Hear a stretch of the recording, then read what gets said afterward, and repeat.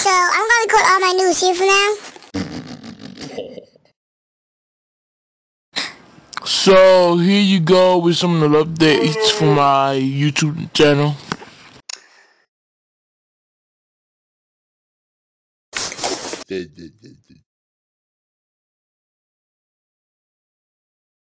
Tomorrow I'm going to post two new Tomb Raider and two new Dead Island Riptide. Maybe throwing a Payday 2 or Batman Arkham Origins with it.